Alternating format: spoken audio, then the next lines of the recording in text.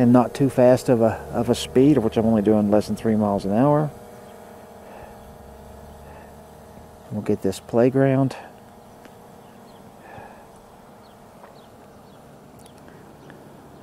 Okay, that should be again, just slowly.